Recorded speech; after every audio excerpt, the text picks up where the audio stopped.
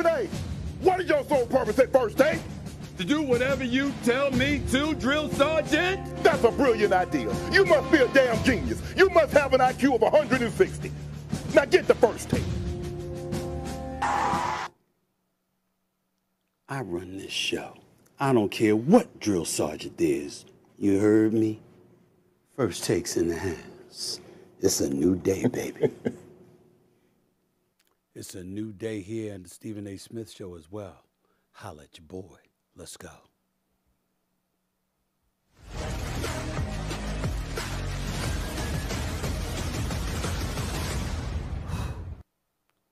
What's up, everybody? Welcome to the latest edition of the Stephen A. Smith Show, coming at you as I love to do every Monday, Wednesday, and Friday over the digital airwaves of YouTube. As usual, we're here in our official studio, thanks to our official studio sponsor, FanDuel Sportsbook. FanDuel is the official sports betting company of the Stephen A. Smith Show. By the way, my followers, my subscribers are approaching 300,000 in less than just six months. I'm honored and privileged to have that luxury. Please like and continue to like and follow the Stephen A. Smith Show on YouTube. Click the bell to get notified of all of our new content. And be sure, by the way, to pick up a copy of my New York Times best-selling book, Straight Shooter, a memoir of second chances and first takes. Um, religiously, when I've started this show, I've always told you that we would be starting at 4 p.m. Eastern Time, 1 p.m. Pacific. I also gave you the new phone line that, that I've installed 888 SAS 5303. That's 888 SAS 5303. That's 888 727 5303. That number hasn't changed, and neither is my desire for you to call into the show. But it's going to be a little bit different because I'm going to be taping the show for the foreseeable future until I'm, my studio is finished. I'm building a new studio. And until that studio is finished, I'm not going to go live. I'm going to record this podcast probably like an hour or so before it actually gets posted, um, just to make sure that I don't have those buffering issues and stuff like that you guys have been witnessing over the last few episodes. So, my apologies for those technical difficulties. This is a way to alleviate that. And the reason I give out the number because even though I'm taping this, probably an hour before the show actually gets posted. I'm giving out that number because while I'm doing this, it's called live to tape. You can call in and I can answer your calls while I'm taping the show. So when it actually when it actually gets posted, your phone calls will be a part of that particular episode just an hour later than you anticipated. My goal is to have this podcast posted at least by uh, 5 p.m. Eastern Standard Time, 2 p.m. Pacific every weekday. So I'm going to move it back an hour for the purposes of being able to tape and what have you. So I beg your indulgence, uh, your patience. I thank you for both. I really, really appreciate the support and keep it coming, and I'm going to keep on coming. Let's move on to the first topic of the show because the NFL season began last night. And as I predicted, the Detroit Lions won the game. But it's nothing to brag about because I picked them to win the game by default. You see, the moment I heard that Travis Kelce, the all world tight end for the Kansas City Chiefs, was going to be gone, he was going to be out, okay, because of aggravating the calf muscle, whatever the hell it was. I said to myself, you know something? They ain't winning this game. Because Marquez Valdes Scantling, I'm not sure about him. Kadarius Toney, I damn sure wasn't sold on him. Remember, the Giants gave him up for a reason. Now, he may have helped the Kansas City Chiefs win the Super Bowl last year in his performance in the Super Bowl against the Philadelphia Eagles, but he's still an unproven commodity. A commodity, no doubt, but an unproven one. And sure enough, last night, that was the case. See, Jared Goff, who's now 2 0 versus Patrick Mahomes, by the way, that same Jared Goff is an individual that showed up after failing to move the ball on like six or seven consecutive drives, ended up driving the Lions 91 yards for a game winning touchdown. But the Lions basically put up just 14 points. Prior to that, all right, Patrick Mahomes wasn't able to do much, but it wasn't his fault. Did y'all know Kadarius Toney dropped four passes? Four passes. Four passes. Okay, let's get that out of the way. The other thing we have to get out of the way is the fact that Valdes Scantling and Toney couldn't get open. Now you had guys like Bell and Noah Gray, the tight ends, replacing uh, Travis Kelce. Uh, they got some tight ends there. If I were the Kansas City Chiefs and Andy Reid, I would be thinking about utilizing a dual tight end system the way Bill Belichick once did.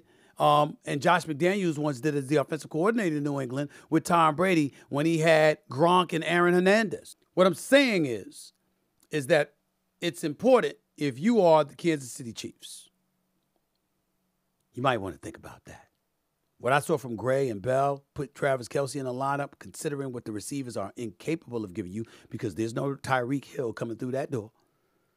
You might want to consider that. The other thing I wanted to point out real quickly is that let's not forget the fact that this is the first time we've seen Andy Reid without Eric Bieniemy, the former offensive coordinator who's now the assistant head coach and offensive coordinator in Washington, D.C., working for the Washington Commanders, the most corniest name in the NFL. Andy Reid was on his own. And the Kansas City Chiefs still seemed ill equipped to do anything about it. But again, there were a lot of dropped passes. And so that's what we have to take into consideration. Detroit Lions, major props to them. Dan Campbell, I'm a fan. And he's changed the culture of that franchise. They believe in themselves. They got a lot of talent. This kid Jahmyr Gibbs is no joke. Neither is their receiving corps. Their defense is vastly improved. Jared Goff is showing, is reminding folks why he coached, he quarterbacked the Los Angeles Rams to a Super Bowl a few years back when they lost to New England. And Dan Campbell is a player's coach, and you can tell. So I'm gonna give props where it's due to the Detroit Lions, but we'll see what happens in the NFC North as the NFL season progresses. Vikings no longer have Dalvin Cook. Packers no longer have Aaron Rodgers, and the Chicago Bears don't have a damn thing outside of Justin Fields. So we'll see what happens. Let me move on to a subject that's near and dear to me right now, and that subject is Shannon Sharpe. You saw that opening uh, with myself and Shannon Sharpe. It was a cold open I did on Memorial Day, his first day, a day in which we did 727,000 views in linear television, just breaking records. It was second, our second highest rated show of the year for First Take. I had the first highest after the Super Bowl in February. But Shannon Sharpe is a welcomed addition to the show. And in his two days that we've been together, we've done 727,000 viewers one day, 512,000 viewers the next day. Um, and ESPN usually averages, meaning first take on ESPN usually averages close to half a million viewers each morning. Um, I got a lot of respect for Shannon Sharpe, and I got to tell you, working with him thus far has been an absolute pleasure. Make no mistake about it. I give him a lot of props, a lot of credit, and it. I really appreciate him reminding me and reinforcing why I went out there and recruited him and got him to come on the first take after he was let go by FS1. Um, we talked on his podcast about this very subject when Shannon Sharpe asked me um, why did I want him and why did I go to bat for him? When I was on his podcast called Club Shay Shay, I want y'all to see this interaction between myself and Shannon Sharpe, explaining exactly why I went after him and why I wanted him on First Take with me. Take a look. I remember when I first arrived on First Take and I rolled up in there and I saw a bunch of white folks. And I said, yo, where the brothers and the sisters at? You know what I worry about? The day that I want to leave and I haven't done anything to create opportunities for us to continue. And so for me, it's like I look at you, I think that you're smart, you're obviously incredibly accomplished, and then your heart, being con- a conscientious brother, caring about the issues that you're caring about, speaking about the issues that you speak about. Nah, brother, iron sharpens iron. Know, the number one reason I came out, Shannon Sharpe, and I said, I want Shannon Sharpe on first take because I wanted the world to know that you were wanted. I didn't want you to be in a situation where the sports world looked at you and said, What did he do? He must have done something. Mm-hmm. Persona non grata. Yep. This is a brother that I think has done a lot of good work on television that has helped our community. Mm-hmm. And as a result, it's incumbent upon me because of the perch that I sit on to let them know right. he's wanted. Right. Ladies and gentlemen, I meant that from the bottom of my heart and I mean it today. And I feel compelled to reiterate something that's very important to me that y'all understand. I'm not here to make friends. That's not why I'm in this business. That's not what I'm about. That's not what I do. But it doesn't mean I want enemies. And it doesn't mean that I don't sincerely want to help my brothers and sisters. I'm not anti anything. One of the greatest women I've ever known was white. She happened to be my grandmother. She taught me about racism too and what racism really, really looks like. and what a lot of white folks are thinking from time to time. And that's a different subject for another day. But I say all of that to say that I don't look at somebody's skin color and judge their character. I look at their actions and their behavior and I judge their character. But the same is applicable to white people, to black people, I'm sorry. You know, one of the things that I religiously have stated, you know, you've got black folks, a lot of black folks that are quick to remind you that the first human being on the face of this earth, created from the dust of the ground, the man who walked in the garden with God and talked with God himself, Adam, was a black man. And I often say to people, that's the good part. You know what the bad part is? Cain, that means Cain was black too. And he murdered his own brother, if you want to get biblical as a Christian. So what I'm saying to you is that just because you black don't mean you good, and just because you're white doesn't mean you're evil. One's actions speak louder than just words. In our business, the business that Shannon Sharpe is in, the business that I'm in, our actions coincide with our words because it speaks to our intent. And I knew what Shannon was going through because it happened to me. When I was let go in 2009 and left for dead and they was ready to write me off, I didn't have a Stephen A. Smith in the position that this Stephen A. Smith is in to look out for me. No matter what work I did, no matter what I accomplished, no matter how hard I worked, no matter how much better I may or may not have been than others, I didn't have anybody in a position to do but so much for me initially, which was why I was unemployed from 2009 to 2010. Which is why when I finally got a job in 2010 for Fox Sports Radio, I still needed to work to gain traction again. Which is why when I got hired back by ESPN in 2011, I was prohibited from being on television restricted to radio and radio only. I know what Shannon is going through or was going through. And that brother didn't deserve that. And the more I work with him, the more I enjoy him. To be in his presence, I got to tell y'all, all a brother wanted was respect. I ain't getting to him and skip business. That's their business. But I can tell you, as somebody who's dealing with him directly, all he wants is to be respected and appreciated. And he already knows he has that from me. I told him on his podcast to his face, and I'll tell you, my audience, to my face, my job with him, Marcus Spears, Swagu, Ryan Clark, Kimberly Martin, Mina Kimes, Dan Orlovsky, Mad Dog Russo. The list goes on and on and on. And that includes J.J. Redick, Jay Williams, Monica McNutt during the NBA season, along with my boy Big Perk, Kendrick Perkins, all of them.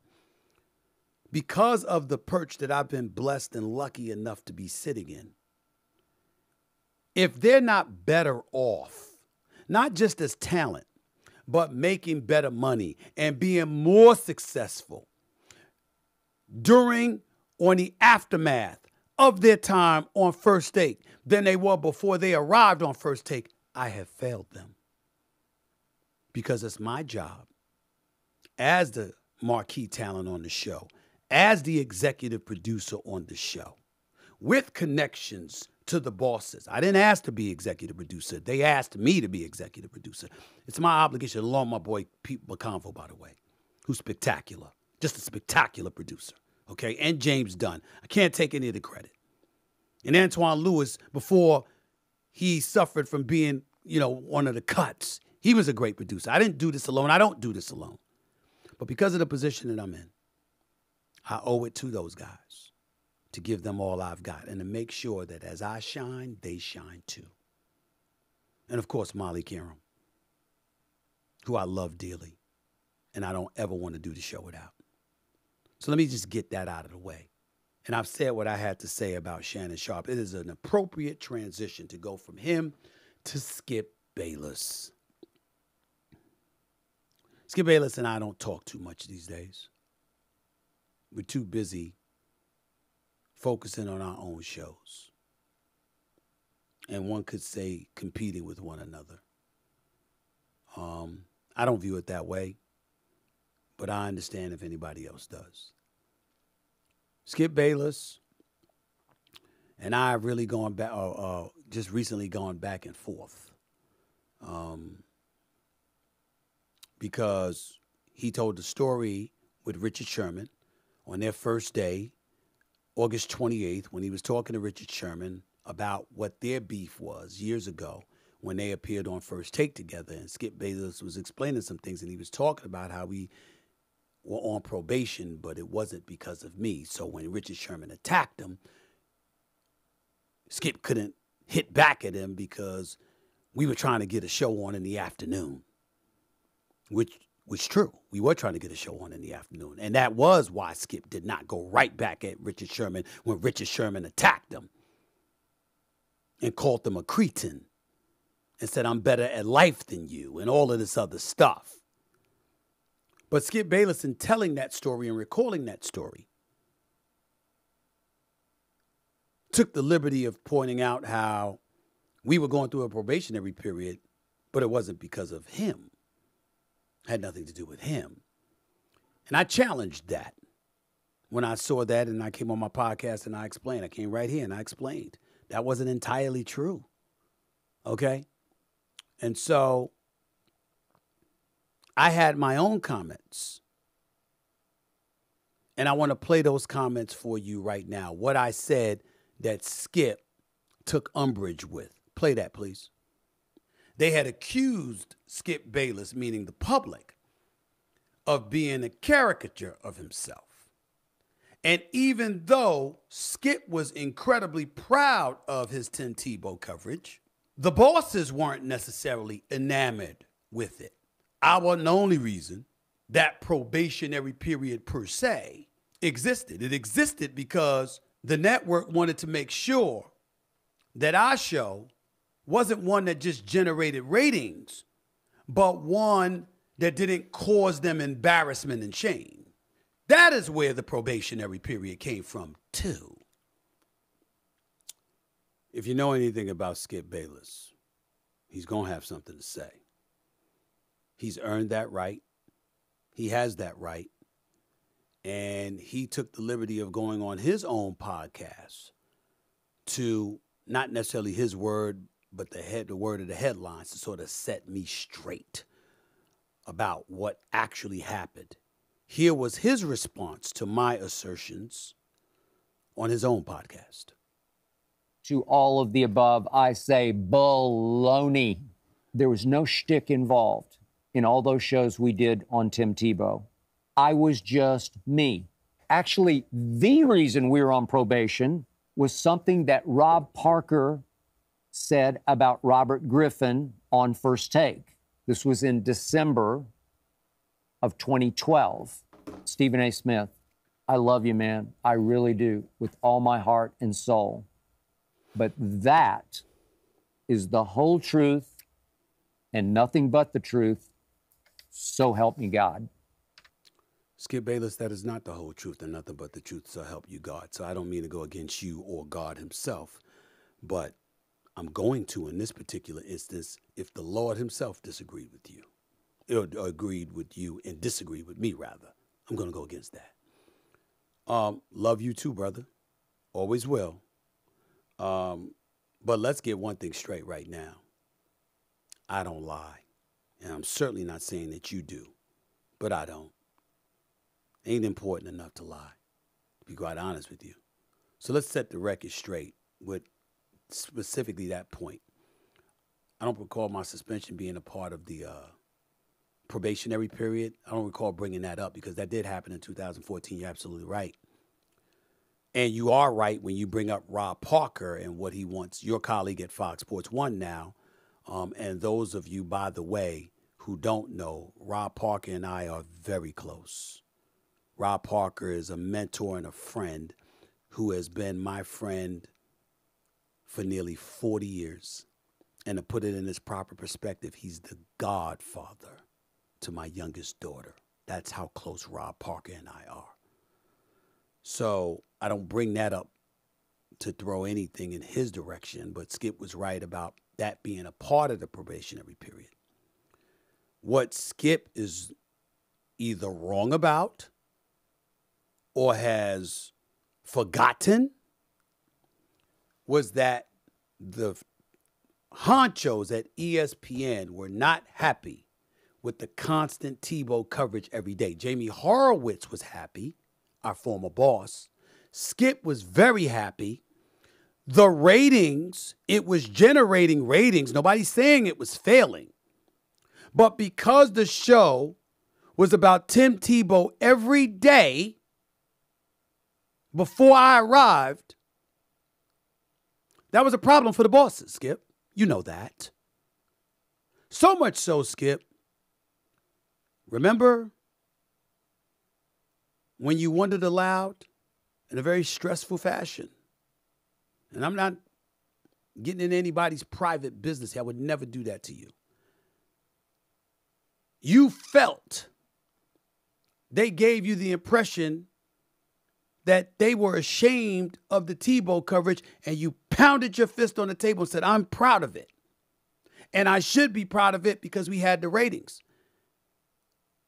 And I said to you, yeah, but we might not need to tell them that because we want to get on in the afternoons. Remember that? I do. No one is saying that Tim Tebow did not generate ratings. Nobody is saying that the show was not successful. Nobody is saying that the public at large, while some people abhorred it, a lot of people loved it. Nobody is saying that. All I'm saying is that by name, John Skipper, Norby Williamson, and John Wildhack, the three bosses who were in charge of ESPN at that time, was not proud of the coverage that the show was getting because they thought it compromised their what they wanted their network to represent and they would much rather have preferred people was leaning on sports center this flagship show rather than that. That is a fact. And for anybody that doubts me john skipper is now partnered with dan le batard with Meadowlark Media. Ask him. John Wildhack is the sports editor. The I'm sorry, the the, the uh, athletic director at Syracuse University. Ask him. Norby Williamson still at ESPN. I'm telling the truth. I just wanted to say that. It's not throwing any shade on you, Skip. I wouldn't do that. I wouldn't do that. I'm just saying that me or Rob Parker were not the only reason we were on probation. You, it has something to do with you too. That's all I'm saying. Nothing more than that. Absolutely nothing more than that. So help me God. And I love you too. And you know that. 888 SAS 5303. That's 888 727 5303. Before we go to break, giving you that number to feel free to call in. A couple of days ago, Dan Le Batard was a guest on this show. And I just wanted to say, just like I don't mind whether I speak to Skip or don't speak to Skip, see him or don't see him, I will always love my brother from another mother. I will always love his wonderful wife, Ernestine, who's been nothing but wonderful to me okay? And regardless of how many times we disagree about certain things, it's not going to change my feelings for him, and I will never disrespect him, okay? But it is important to point out the love part because I got to tell you, after my conversation with Dan Le Batard the other day, it had me thinking about how much better we can all be. And I want to applaud Dan Le Batard for that because I really appreciate it because the way we had that conversation for those 30 minutes, the way we communicated with one another, we agreed without being disagreeable. We got along. We showed respect for one another and just articulated our differences for you all to interpret and decipher and ultimately take a side. And that's what makes the world better. Here's an example of what I'm talking about. Listen to me and Dan Le Batard with our closing remarks on the Stephen A. Smith show right here just a couple of days ago. But I think as long as both of us are in this business doing what we're doing, and more importantly, willing to give an opportunity to others on the come up to really shine and do what they're capable of doing as well, I think it'll all be just fine when all is said and done. I also hold you in the highest regard because I do believe that you aspire to uh, so many of the journalistic tenets that I hold dear. The feeling is mutual. I got you, my man. I appreciate you. You know I love you, crazy ass. You know that. We'll do it. We'll Likewise, we'll, my sanctimonious ass. That's right. it's the way it should be, y'all. That's exactly the way it should be. It's okay. Nobody's gonna lose any sleep. Okay. Now, having said all of that, Dan Le Batard, please don't get on me for and accuse me of dehumanizing an athlete. Not that you did, but I'm just saying, please don't do that here when I talk when I take the liberty of closing this particular segment by talking about Anthony Davis of the Los Angeles Lakers, who just signed for $186 million. Do y'all know that this dude, this dude, Anthony Davis, who is a superstar when healthy and plays his A game, just signed a three year, $186 million deal. After he got the damn money, he gonna sit up there and tell the Lakers he need help at the five position. See, this is the bullshit now. This is the bullshit. Now I understand the Lakers agreed to terms with free agent big man Christian Wood. Christian Wood ain't no big man, he's a tall man. He's not big. He's tall. Okay? But let's be very, very clear about something if you're Anthony Davis. $186 million. $186 million. You average $62 million a year. You just got swept in the Western Conference Finals. You got outplayed by Nikola Jokic, dropping 41 game. You did, Anthony Davis, and 11 the next with your Six Flags roller coaster self. And you're going to sit up there and ask for help after getting $186 million? $186 million. See, this is what this is what drives me crazy. I love Anthony Davis as a person, and I love him as a player when he's on his A game. But it is an absolute travesty that this man consistently finds himself in worse shape than LeBron James. You're supposed to be helping LeBron James, relieving him, letting him know that approaching his 21st season, he ain't got nothing to worry about because you got it. Instead, he got to act like he's in its 10th year in the league. Not just with his game, but physically, because you ain't available half the damn time. You missing more games than LeBron.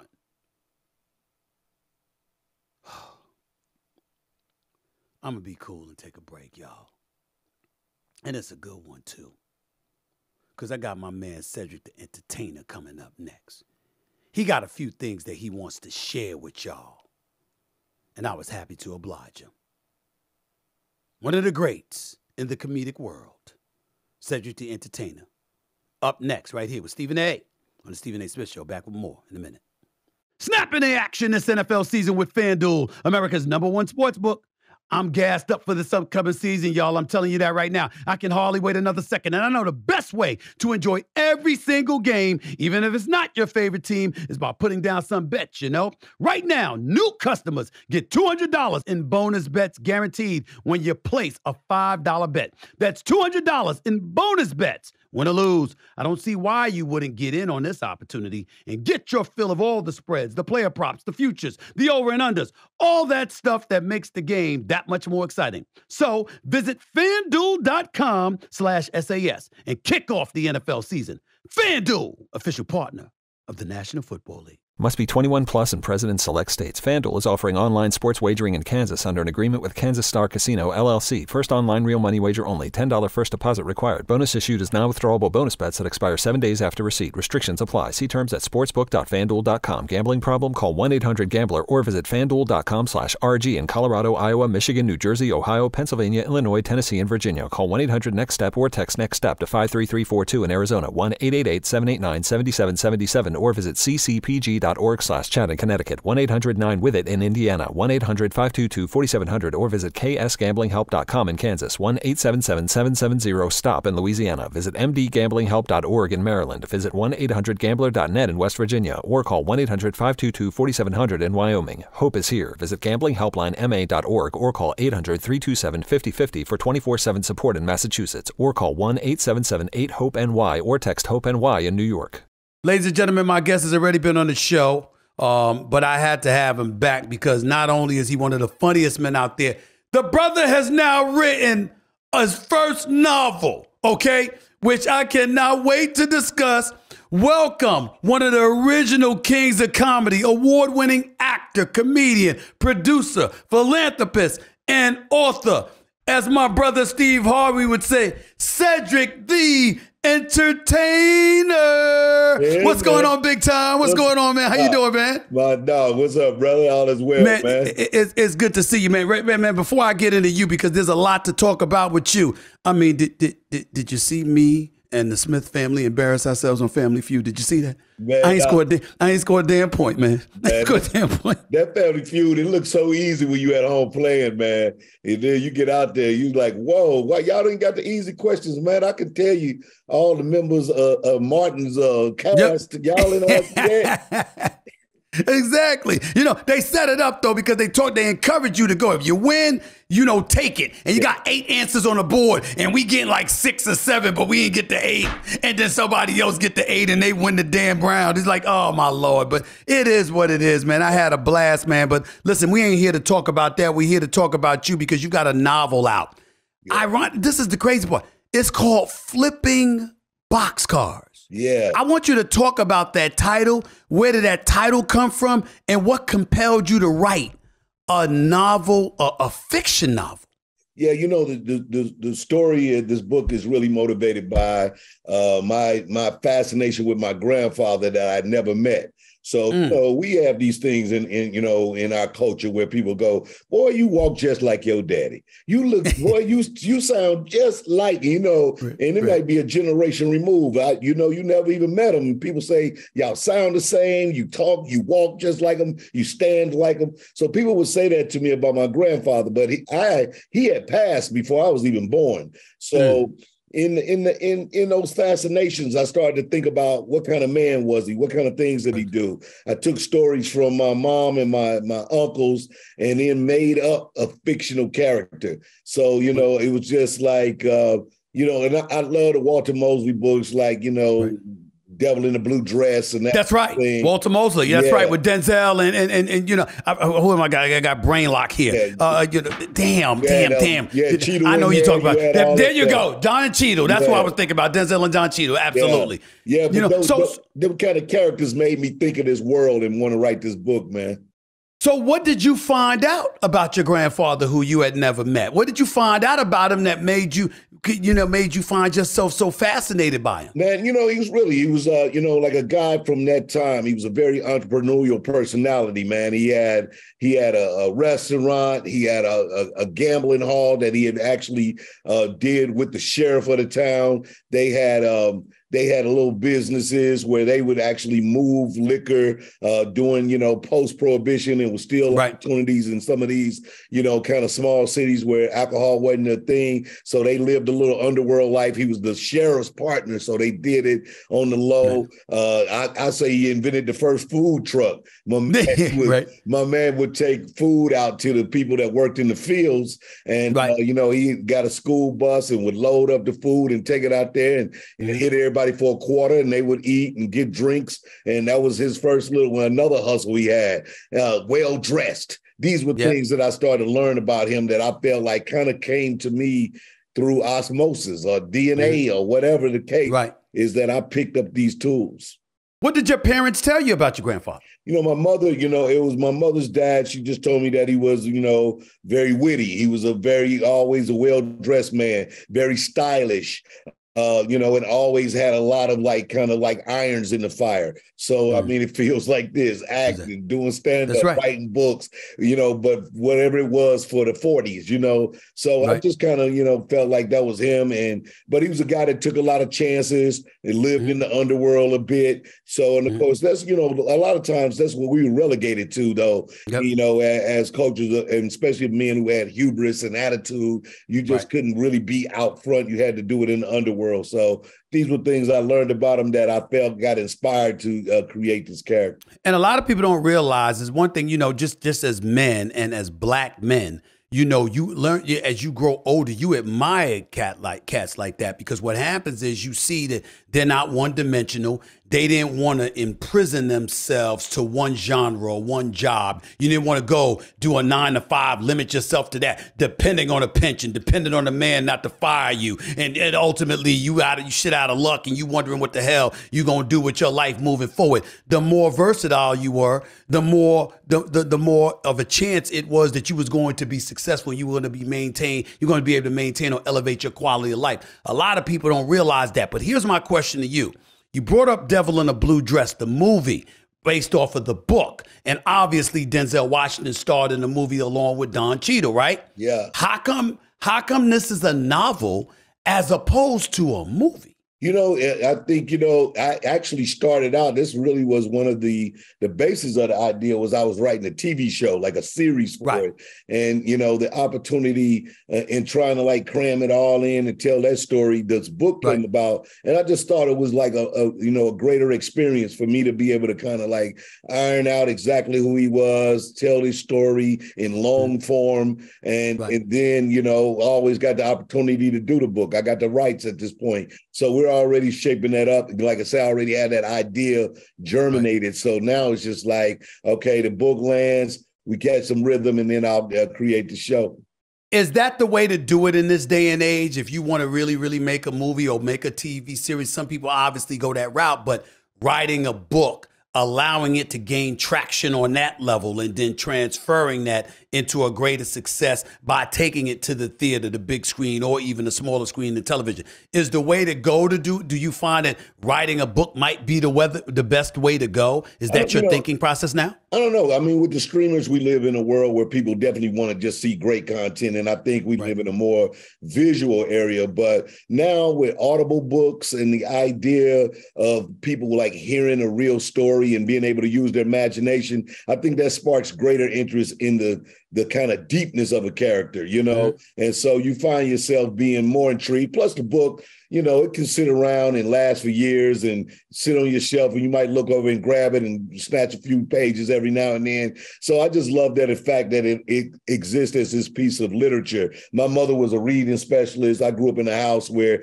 books was everywhere, reading right. was everything. So, you know, this was an opportunity for me to kind of break out of my normal thing and do something different TV, film, you know, live performance, that's my move. Right. But to write a book and to write a novel was a different muscle for me. And so I chose this experience and right. then know that I still got those available to me to be able to turn this into a TV show. Man, I can't front. I wrote a book. I wrote my autobiography, memoir, you know, straight shooter memoir, Enjoyed second it. chances and first takes. Nine weeks on the New York Times bestseller list with the book and the audio book. And I swear to you, all I can think about is I never want to write a book again. I don't want any parts of that, Cedric. It's, it's hard as hell. I don't want no part though. of it, bro. I don't, I don't, want no part of it, Cedric. I pour you poured it out, man. I read it. Oh. I enjoyed it, man. I listened Thanks, to the man. audio book, you know. And the thing is, is when you do a, bi- a, biography, you pour it all out, man. That's right. Now, if you start to think about, like, you know, like say if you do a story of big gains or somebody like That's in right. your book where you decide right. I'm just gonna take a little piece of his yeah. life and tell a more magnificent story of a, a coach that did, you might have more fun because at this way you're not really locked in the. You like, a good point. That's yeah. a good point. I've also thought about murder mysteries and stuff like that, you know, yeah. the crime novels and stuff like that. But I'm just saying, oh my lord, it was so hard. I'm like, I'm like, damn, this is some hard stuff, yeah. bro. No, it's, it's hard. It's more than what people think, and I and I, I kind of say that in the back of my acknowledgments that mm-hmm. when you start a book, the way you come out on the other end is not the same person you were when you started. It. Everybody right. got this idea like I can just rah, rah, rah, mm-hmm. and write it down mm-hmm. and be done, but it, right. it don't work like that. This book Now, by the way, it comes out to hit shelves September 12th. So everybody look for it. Hit shelves September 12th. Okay, so let's make that. We make we're gonna make that point. It's gonna hit shelves next week. That's number one. Number two, Hollywood Walk of Fame. You just received that a couple of years ago or so. I'm thinking about all the accomplishments and where you are now and the kind of impact these kind of things have had on your life. When you think about all the things that you've done, and now you're an author, not to say because you also written a book before, obviously, but you you think about yourself as an author, an actor, a comedian, etc. What has profoundly affected you most? I'm not talking about the public. I'm just talking about you. As you sit back and reflect on the things that you've done, what has had the most impact on you walking in yourself, your soul every single day? You know, I mean, you know, a couple of things. I mean, I love great experiences and things I've had, actually had to do. Probably the thing that I felt like stretched me the most is I had a short run on Broadway. Uh, we did uh, American Buffalo uh, with right. John Leguizamo, Haley Joel Osment, but that was a that was a, one of the times where uh, you know I couldn't rely on my you know my my natural ability to turn something into a joke because broadway is all about the playwright. So i had to learn how to learn those words. I had to be an actor. I had to become an actor. And it made me really respect the denzels and the samuels of the world like people who really go and when they land in a movie role they bring that character to life. And so that was something that i feel like was probably one of the most you know, significant things in my life that changed me, that made me like look at what I do and, and, and respect it more for the, you know, the, the, the honor of doing the job and, and, and, satisfying what it is when you go to work on a movie screen or on a TV show, what it is that you're trying to deliver from this character. Who's the person in Hollywood that has had the biggest impact on you? Man, you know, it got to be my dog for the most part, Steve Harvey. I mean, you know, Harv, Harv was the person that like kind of really pulled me into the game. Uh, you know, he was Uh, and then being on the show and riding, being able to ride shotgun on the Steve Harvey show, like in the shotgun seat, I got to yep. see, you know, I got to be privy to some of the meetings. I got to be privy to the deal right. making, you know. Yep. And so when I was able to kind of go into and then find my light and go into my own thing, I had a lot of that knowledge. Plus, Steve was always a bit of a rebel, a guy that, you know, and he's done it in many levels. He was yep. inside the world, then he jumped outside the world. So I kind of operate like that too, even though I'm a inside Hollywood, I'm not really uh, a Hollywood dude. I kind of that's right. Neither am I. Outside the most re- most real dudes ain't. Most real dudes ain't. I mean, yeah. when we come to Hollywood, we come to Hollywood and make some money. We come to Hollywood to handle our business. Yeah, exactly. We be damned if we gonna go Hollywood. You know what I'm saying? And, and we just can't do it like that. It's just not our flavor. It's not who we are. Yeah, man, no doubt. Yeah. So when you think about that, man, I, I, mean, do you take time as you reflect on all the things that you've done? Do you take time to imagine or reflect on what it's been like for all of y'all? I think about Bernie Mac, God rest his wonderful soul, yeah, and I'm imagining what he would have accomplished had he still been here. I'm seeing what Steve accomplishes. People throwing, you know, darts at him every day, arrows. And I tell Steve all the time, they only doing it because you matter, my brother. They only doing it because you matter. Don't even worry about it. Shrug that bad boy off. Keep it moving. DL Hughley, yeah, um, a serious brother, highly educated, highly conscientious. I got a lot of love for him too, and of course you. Do you do you reflect on the kind of collective impact the four of you had, or do you find yourself thinking more about yourself from the standpoint let them do them I think about it, but I really don't want to get caught up in that too much. What's the mindset? No, like? man, I love that. I mean, the fact that again, both uh, all three of us together, you know, again, RP yeah. the, the legend, the great Bernie Mac, but That's right. me, Steve, and DL was together at my tournament last week, man. Wow. And so we still like bond together. We still like hang out. And so, you know, that that is is a, is a unique thing to have that kind of kindred, that brotherhood with someone and still be mm-hmm. individually making it me and right. DL toured quite a bit all the time. We just did yep. a big tour last year. Uh, yep. You know, straight jokes, no chases. We was out, and so we get out there, man. And so I, I love that. And I know B Mac was here, you know, he, he oh. was already gone, gone. So by the, right. you know, by the time he was getting ready, you know, what we got going on now with streaming and all these ideas, B Mac would have just been, you know, another another superstar out there just doing his thing, you know. Like and I love always. the fact I love the fact that you brought that up because in the times that we're living in, we see the writers' strike, we see the guild, everything. We see SAG-AFTRA, we see we know what's going on in Hollywood right now, and we're really hoping and praying that things get you know make a turn for the better quicker, sooner than rather than later. But a lot of times you see people out here they're scared to death because of the changing times with streaming, linear television. The ESPN, who I work for, once had 100 million subscribers, is down to 70. People project it's going to be like about 50 million in a few years because of the advent of digital and social media, all of this other stuff. And I'm going like this. Well, all right, that's fine, but people keep forgetting something. Content's king. And as long as you got content, along with an, an inordinate number of outlets to distribute that content, this ain't something to be depressed about. It's something to be excited about. That's my take. What's yours? No doubt, man. I always say, you know, life, you know, I, I tell my kids this, you know, time don't go backwards, we go forwards. You can't put stuff back in the box. You know, everybody want to cry about what's next. I just remember like when, you know, you couldn't even dunk in the NBA because black people was the only people that could do it. And, you know, you, you, they used to be like, hey, you can't do that. That's against right. the rules. Now you right. don't want to see a game without one. So you recognize that, you know, AI, all these things, technology, streaming, these things you can't put back in the box. You just, you, right. you know, you might have had a time you know, you might have had a time where we all love record players and hearing the sound on, right. on, on old record. Right. But you know, don't get me wrong. When I got my phone, I want them same songs. I want to be able right. to hit it on my phone and play it. So I'm, I'm glad technology is available to me, and I you just got to learn to adapt, grow, and move because that's what the world is, man. We going forward. That's all. That's all we can do. So I you've always You've always been moving forward. Like I said, you just wrote this novel. It's called Flipping. It's called Flipping Boxes. Okay, flipping box cars. I'm yeah. sorry. It's it it debut. It puts on shelves. It, it, it hits the shelves September 12th. So we definitely going to talk about. We already talked about that. Want to remind everybody. You also wrote a book in the past, Grown Ass Man, which is which was a collection of 23 comedic essays. Let's not forget about that. Yeah. You got your show, The Neighborhood. By the way, you just reached. You recently reached this year 100 episodes. 100 episodes on your CBS sitcom, The Neighborhood. Uh, you not only star alongside the lovely Tichina Arnold, you know how much I love Pam. I, I would, she will always be Pam for Mark, for me, forever, forever. Oh. But I love her dearly and she does great, great work. But you executive produce this show as well. Yeah. As you sit back and think about all of those things, where does Cedric the Entertainer go from here, my man? Like we just finished talking about the different outlets, the different opportunities, the yeah. novel that you've written, the movies and the television series you may create. Where's your mindset right now in terms of what's next? Steady, you know, steady, steady creating, man. You know, I definitely want to produce more shows now. I love I'm building building my company. I produce most of the things that I do, and now we're doing things for others with my uh, show, uh, Birdberry Entertainment. We got the show Johnson on Bounce. Uh, we had right. another show, Finding Happy, on there for a minute.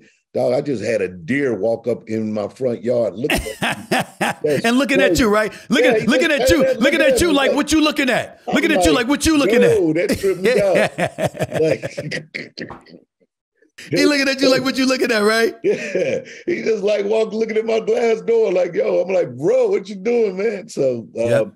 But you know, really, that's me, man. Just steady moving. I definitely want to create stuff for others. We got deals going with so many dope of the young talent coming out. You know, uh, developing show, Ha Ha Davis and Country Wayne, and and right. you know, and and and Tracy Morgan, one of my partners. We got yes. stuff that we're developing. So as soon as the strike is over, we ready to get out there and make things pop, man. And so I'm steady on that grind and trying to get take the opportunities I have, and of course, you know, do some cold bounce passes to people. Right that you know they can you know take take their shots.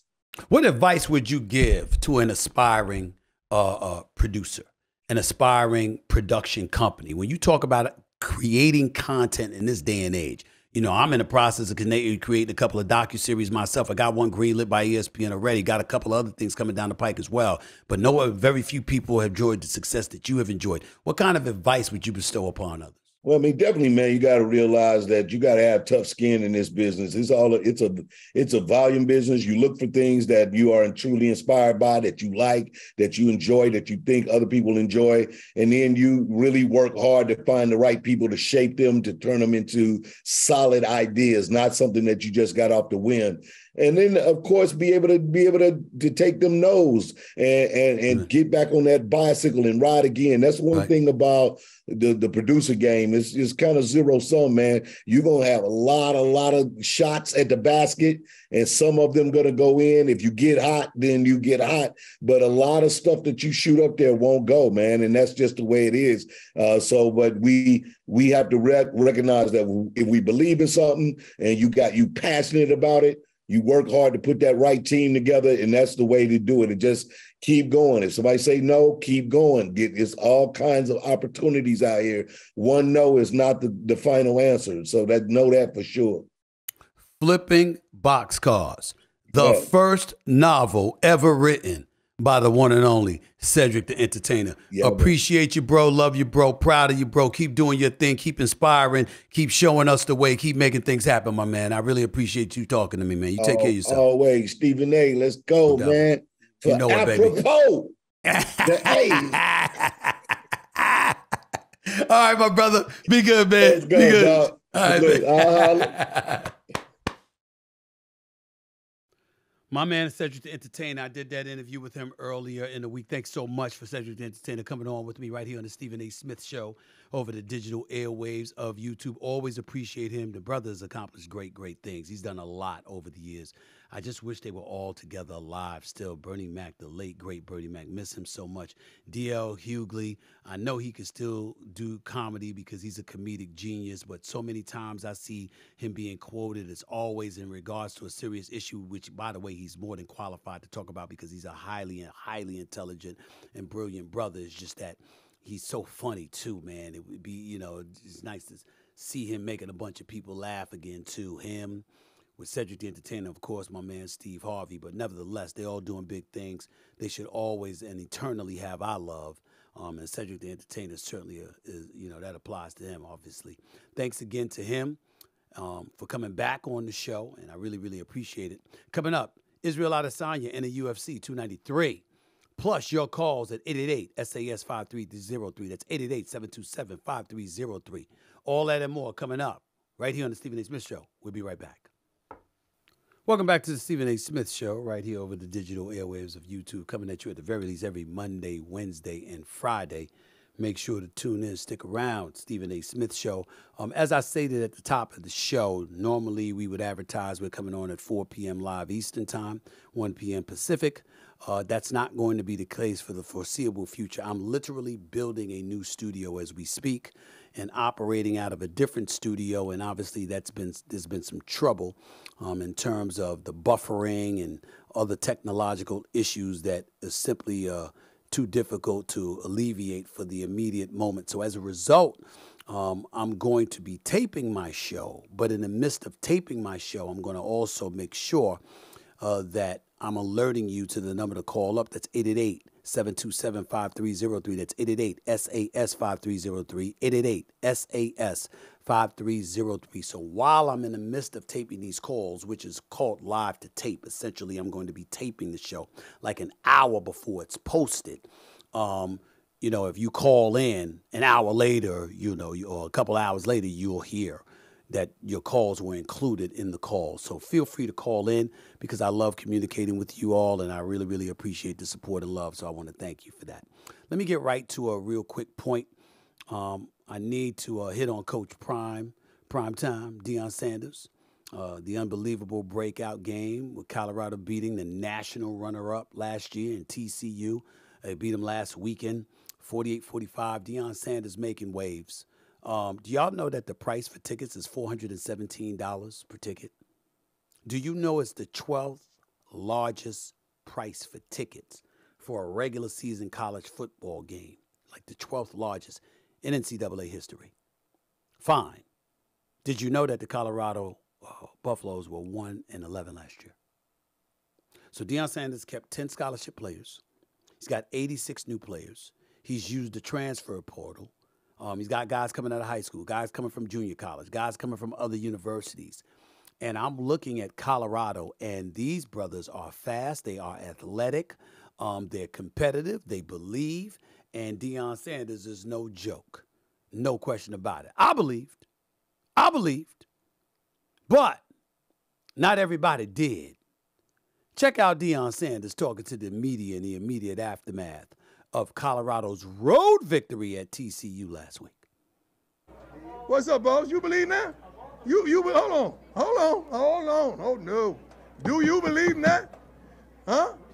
Oh no, no, no. I read through that bull junk you wrote down. I read through that. I sifted through all that. Yeah. Oh no. Come on. Do you believe? You don't believe. You just answered it.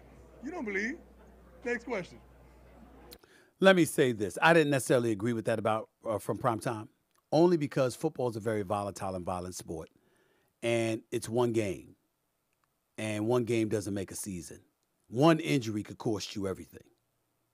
One injury. What if Shedeur Sanders got injured? This is a quarterback for the Colorado Buffalo. This is the guy that is the son of Deion Sanders. He goes out there and he throws 510 yards on four touchdowns in his first Division One game.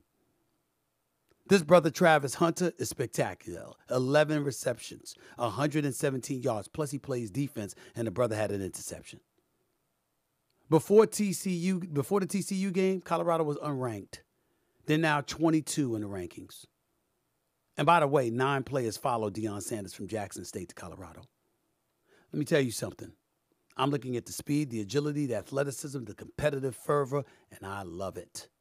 I absolutely, positively love it. And I'm, I'm getting on the media about it. I don't think that's smart. I don't think that's necessary, but it is prime time.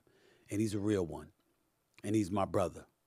So much so, I'm flying to the game tomorrow. I'm flying to the game. I'll be in attendance for that game. I'll be on the sidelines pregame. I don't, I'll probably hang out in the suite or something during the game, but I'm flying to the game and I'm bringing Shannon Sharpe with me. And I'm doing that just because Primetime asked me to. It's my man. I'm going to the game. I want to see it in person, but they better not lose no damn Nebraska. I know Matt Rhule's the new coach or whatever. They better not lose no damn Nebraska. I better not fly the hell all the way damn near across the country and you're going to lose to Nebraska. Okay? I don't want to hear that. Hell no. So, Colorado, handle your business. Stephen A. coming into the house. And I have no doubt they will handle their business, to be quite honest with you. Let me switch to this next subject real quick before I get to the calls at 888 SAS 5303. That's 888 SAS 5303. To the UFC, this weekend's UFC 293, Israel Adesanya, the reigning defending middleweight champion of the world, will take on this cat, Sean Strickland, in Sydney, Australia. It's the must win matchup for the style bender. Okay, remember, Adesanya just reclaimed the UFC middleweight title in April against his nemesis, Alec, you know, Alex Pereira. Remember Alex Pereira in the second round knockout? Remember that? And this is a guy that beat him by TKO before. This is a guy that, when they were kickboxing, he beat Adesanya then. And so for Adesanya to go back into the octagon after losing uh, to the to the to Pereira in a, in a fashion that he did, to go back in next in that octagon and to handle his business the way he did, I can't say enough about him. I really, really can't. Adesanya to me is the best in the world right now, unless you want to tell me to include Jon Bones Jones, who just came back after what is it, a two to three year hiatus and beat Cyril Gane by choking him out, submitting him. But here's the bottom line. Adesanya's record is 24 and 2. Strickland's 25, 27 and 5. He's not to be um, dismissed. But it's very, very important to me that Adesanya wins this victory. Because this guy, Dricus, he was scheduled to face Adesanya this Saturday, but pulled out months ago due to a foot injury. Now, he's a South African, and he's talking about how he's the real African and not Adesanya. And that, you know, who's Nigerian, and obviously that, that just got stuff boiling. Now, that's the fight I wanted to see. Well, we got to make sure we still get that fight. Dricus Du Plessis. I can't wait for him and Adesanya to fight. But if Adesanya loses to Strickland, we might have to wait a little bit longer than we want to for that. So I hope that doesn't happen. Like I said, 888 SAS 5303. That's 888 SAS 5303. That's 888 727 5303. Your calls right now. Let's go to the lines.